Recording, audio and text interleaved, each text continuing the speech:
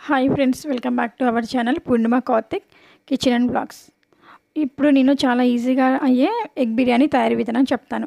Egg బిర్యానీకి కావాల్సినవి తాళం గింజలు పచ్చిమిరపకాయలు ఉల్లిగడ్డలు కరివేపాకు యాలుక్కాయలు లవంగాను బిర్యానీ ఆకు అల్లం వెల్లుల్లి పేస్ట్ ఓకేనా? ఇవన్నీ మనకి కావాల్సిన పదార్థాలు. అలాగే త్రీ ఎగ్స్ తీసుకుందాం. నేను ఆల్రెడీ ఎగ్స్ ఉడకబెట్టి తీసి పక్కన పెట్టేసుకున్నాను.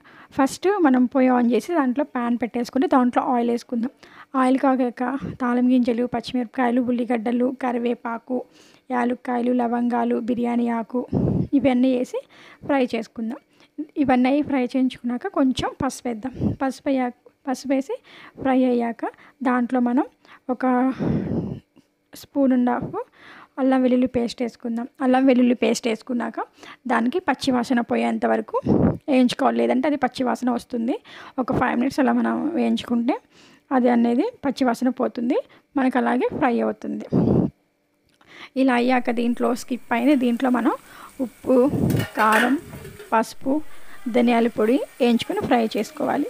ఫ్రై చేసుకున్నాక దీంట్లో ఇందాక నేను ఉడికించిన ఎగ్స్ ఉన్నాయన్నాను కదా ఆ త్రీ ఎగ్స్ కూడా దీంట్లో యాడ్ చేసుకోవాలి. అలా యాడ్ చేసుకోవడం వల్ల ఆ ఎగ్స్కి మనకి ఆ ఉప్పు కారం అనేది పడుతుంది తినేటప్పుడు చాలా టేస్టీగా ఉంటుంది.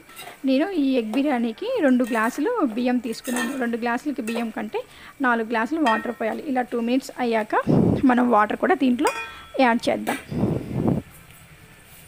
ఓకేనా ఫ్రెండ్స్?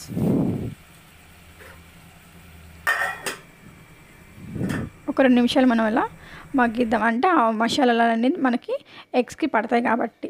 మనం ఒకసారి కింద ఏమైనా అడుగంటుంది లేదో ఒకసారి చెక్ చేసుకుందాం. మీరు ఇలా పెట్టాక ఒకసారి చెక్ చేసుకోండి.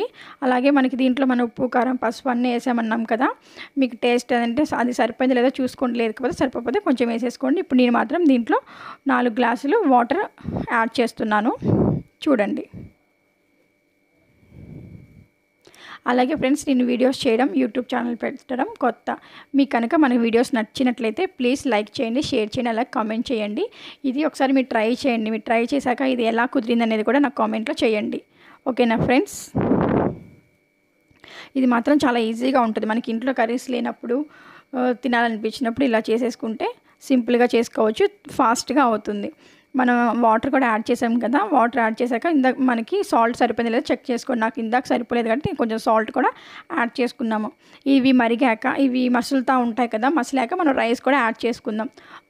మసలాక నేను రైస్ కూడా యాడ్ చేశాను అది స్కిప్ అయింది. అయ్యాక మన హై ఫ్లేమ్లోనే ఉంచుకోవాలి. ఇప్పుడు బిర్యానీ ఉంది కాబట్టి అప్పుడే లో ఫ్లేమ్లో పెట్టుకోవద్దు. రైస్ వేసాక హై ఫ్లేమ్లో ఒక ఫైవ్ మినిట్స్ ఉంచాలి. ఫైవ్ మినిట్స్ ఉంచాక మనకి సిమ్లో కానీ లో ఫ్లేమ్లో కానీ ఒక టెన్ మినిట్స్ అలా ఉంచేస్తే మనకి బిర్యానీ అనేది రెడీ అవుతుంది ఎగ్ బిర్యానీ అనేది రెడీ అవుతుంది. ఇలా అయ్యాక మన దగ్గర కొత్తిమీర ఏమైనా ఉంటే పైన గార్నిష్ చేసుకోండి. నా దగ్గర కొత్తిమీర లేదు కాబట్టి నేను కొత్తిమీర వేయలేదు.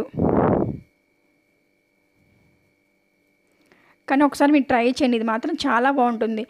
చాలా ఈజీ ప్రాసెస్. ఇంట్లో మనకి చేసుకొని తినచ్చు. మనకి బిర్యానీ కూడా అయిపోతుంది. చూడండి ఇలా వీడియో వీడియోలో చూడండి ఒకసారి.